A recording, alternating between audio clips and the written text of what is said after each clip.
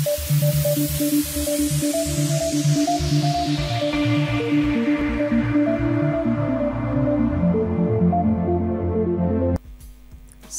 ٹنڈولکر چوبیس April nineteen seventy three کو ممبئی کے شہر میں پیدا ہوئے سچن ٹنڈولکر کا پورا نام سچن رمیش ٹنڈولکر ہے اور ان کو لٹر ماسٹر اور ماسٹر بلاسٹر بھی کہتے ہیں اور ان کی ہائٹ پانچ فٹ پانچ انچ ہے۔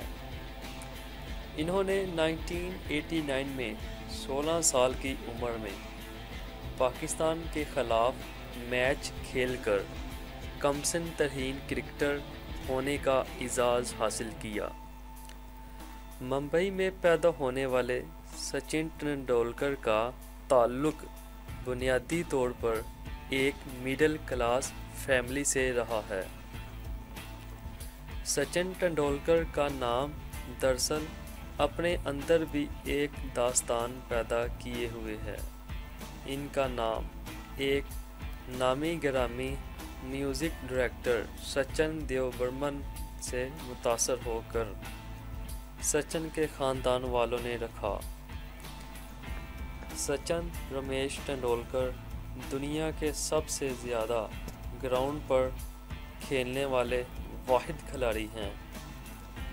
انہوں نے ایٹی نائن کرکٹر گراؤنڈ پر میچز کھیلے۔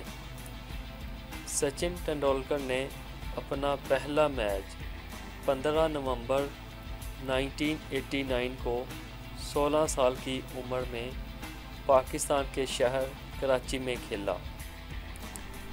سچن ٹنڈولکر نے ایک ہزار رنز انیسویں ٹیسٹ میچ میں مکمل کیے اور دس ہزار رنز ایک سو بائیسویں ٹیسٹ میچ میں مکمل کیے۔ سچن ٹنڈولکر نے اپنا لوہا باؤلنگ میں بھی منوایا اور ٹیسٹ میچز میں فورٹی سکس وکٹیں حاصل کرنے میں کامیاب ہوئے۔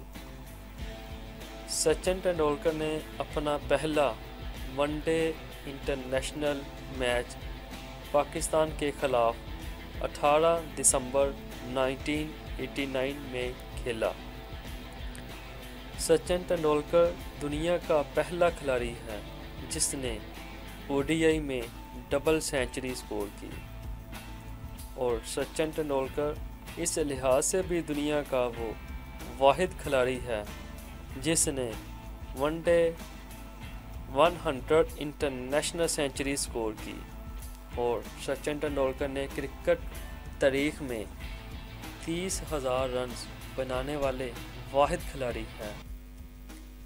سچن ٹنڈولکر کو بہت سے ایوارڈ سے نوازا گیا اور ان کو بھارت کا سب سے بڑا ایوارڈ بھارت رتنا سے بھی نوازا گیا۔ سچن ٹنڈولکر نے کل چھ سو چونسٹھ میچز کھیلے اور چونتیس ہزار تین سو ستاون رنز بنائے سچن نے ٹیسٹ میچز میں دو سو میچز کھیلے اور ان میں پندرہ ہزار نو سو اکیس رن سکور کیے ان میں اکیاون سینچریز اور اڑسٹھ نصف سینچریز سکور کی۔ ون ڈے انٹرنیشنل میچز میں چار سو تریسٹھ میچز کی نمائندگی کی اور چورتالیس اشاریہ آٹھ تین کی اوسط سے اٹھارہ ہزار چار سو چھبیس رنز بنائے۔ ان میں فورٹی نائن سینچری سکور کی اور نائنٹی سکس نصف سینچری سکور کی۔ اور ایک سو چون منٹیں لینے میں کامیاب ہوئے۔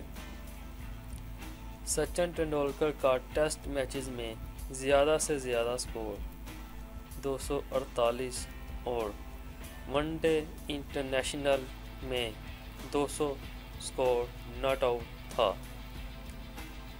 اور آخر دسمبر دو ہزار بارہ میں سچن ٹنڈولکر نے ون ڈے انٹرنیشنل کرکٹ سے ریٹائرمنٹ کا فیصلہ کر لیا اور یوں اکتوبر 2013 میں ٹی ٹوینٹی کرکٹ سے بھی ریٹائرمنٹ ہو گئے اور نومبر دو ہزار تیرہ کو تمام طرز کی کرکٹ کو خیر بات کہہ دیا اور ویسٹ انڈیز کے خلاف وکھنڈے اسٹیڈیم میں ان کا آخری میچ ثابت ہوا۔